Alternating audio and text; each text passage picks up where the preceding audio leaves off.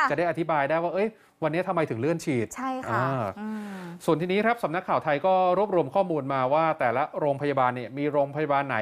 แจ้งว่าฉีดตามกำหนดบ้าง หรือว่าเลื่อนฉีดบ้างนะครับ ไปดูที่โรงพยาบาลสิริราชกันสักหน่อยครับ ย้ำว่าเป็นสิริราชนะครับสิริราชพยาบาลนี่แหละฮะย้ำว่าไม่ได้เลื่อนฉีดนะครับ โดยศาสตราจารย์นายแพทย์ประสิทธิ์วัฒนาภาคณะบดีคณะแพทยศาสตร์ศิริราช ก็บอกว่าโรงพยาบาลศิริราช ไม่ได้ประกาศเลื่อนการฉีดวัคซีน เนื่องจาก ใช้ระบบวิธีการบริหารจัดการวัคซีนภายในโรงพยาบาล เพราะภารกิจของโรงพยาบาลต้องให้บริการฉีดวัคซีนหลายหน่วยงานหลายองค์กร ทั้งกลุ่มประกันสังคม กลุ่มที่ประชุมอธิการบดีแห่งประเทศไทย และยังเป็นหน่วยบริการฉีดวัคซีนในพื้นที่กทมด้วย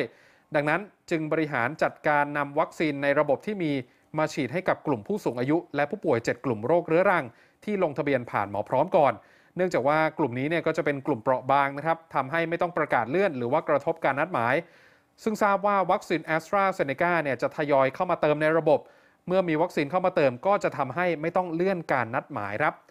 จากสิริราชพยาบาลครับมาดูโรงพยาบาลสิริราชปิยมหาราชการุณอืมต้องย้ำว่าเป็นคนละส่วนกันนะคอัรับนนี้แยกกันเพราะว่าเหมือนจะเป็นเอกชน ใช่ครับค่ะก็จะบริหารแบบเอกชนก็ส่วนใหญ่ใครที่ไปก็จะเห็นว่าโอ้โหตึกใหม่อืม ค่าบริการก็อาจจะสูงกว่าหน่อยค่ะแล้วก็ไม่ต้องรอนานด้วย ซึ่งโรงพยาบาลสิริราชปิยมหาราชการุณเนี่ยเลื่อนนะครับเลื่อนคิวฉีดวัคซีนของคนที่จองคิวเอาไว้ ตั้งแต่วันนี้ก็คือ 14 มิถุนาจนถึง 20 มิถุนาครับสาเหตุก็เพราะว่ายังไม่ได้รับการจัดวัคซีนจากกระทรวงสาธารณาสุข ทั้ง a s t r a z เซ e c a แล้วก็ s i n o v a c โดยหากทางโรงพยาบาลได้รับการจัดสรรวัคซีนเมื่อไหร่ ก็จะแจ้งให้ทราบผ่านทาง SMS ทันทีนะครับ ค่ะ ด้านราชวิทยาลัยจุฬาภรณ์ครับก็ประชาสัมพันธ์ให้คนที่ลงทะเบียนจองฉีดวัคซีน ผ่านระบบหมอพร้อมเข็มที่ 1 และยังไม่ได้รับข้อความนัดหมาย ให้ไปรับการฉีดในช่วงวันที่ 7 ถึง 11 มิถุนาเนี่ยขอให้นำหลักฐานการนัดหมายผ่านระบบหมอพร้อม ไปติดต่อที่จุดอำนวยการศูนย์ฉีดวัคซีนหลักของราชวิทยาลัยจุฬาภรณ์บริเวณ Cat Convention Hall นะครับเพื่อขอรับการฉีดได้ตั้งแต่วันนี้เลยนะครับย้ำนะครับ ใครที่ยังไม่ได้รับข้อความนัดหมายให้ไปรับ เข็มเข็มแรกเนี่ยในช่วง7ถึง11 มิถุนานำหลักฐานไปที่ Cat Convention Hall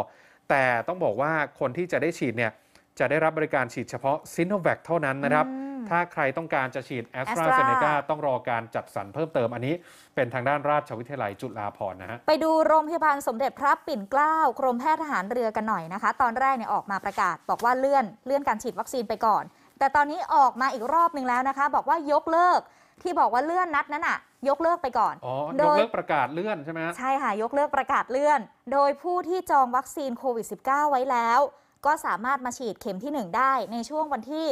15 ถึง 18 มิถุนายน คือใครที่จองผ่านระบบหมอพร้อมอะค่ะเข็มที่1เนี่ยมาได้ตามเวลานัดเดิมนะคะอืมคือตอนแรกออกมาประกาศเลื่อน ตอนหลังออกมาบอกว่ายกเลิกไปก่อนที่ว่าประกาศเลื่อนอะมาฉีดได้เหมือนเดิมครับ15ถึง18 นะคะ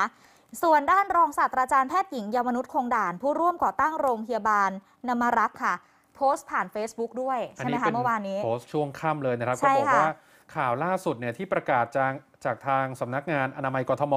ได้ประชุมด่วนหลังจากเกิดปัญหาเพื่อจัดสรรวัคซีนใหม่สำหรับโรงพยาบาลที่ยังไม่ประกาศเลื่อน โดยให้เหตุผลโรงพยาบาลที่ประกาศเลื่อนไปแล้ว จะไม่ได้รับการจัดสรรในวันนี้ เนื่องจากไม่อยากให้คนไข้เกิดความสับสน กราบขออภัยมาณที่นี้ครับ อันนี้เนี่ย เป็นโพสต์จากทางสำนักงานอนามัยกทมใช่ไหมซึ่งค่ะคุณหมอเยาวนุชคงดานเนี่ยเขาก็บอกว่าดีใจสำหรับโรงพยาบาลที่ได้วัคซีน แต่คราวหน้าจะมีใครกล้าประกาศเลื่อนไหมเนี่ย555ไม่เป็นไรค่ะอืมอย่างน้อยได้เพิ่มการฉีดค่ะ ส่วนโรงพยาบาลน้ำมรักษ์ให้รอวันที่ 21 มิถุนายน แล้วก็ทิ้งท้ายว่าป้าพูดตรงแต่จริงใจนะคะโอ้น่ารักมากอืมนะคะผอก็ อะเดี๋ยวรอดูนะคะว่าในวันพรุ่งนี้เนี่ยโรงพยาบาลไหนฉีดได้บ้าง ฉีดไม่ได้บ้าง รอ SMS แจ้ง หรือว่าโทรไปเช็คกับทางโรงพยาบาลดีกว่า ใช่ฮะใครที่จองไว้เพื่อความชัวร์นะคะ จะได้ไม่ไปเสียเวลา อืม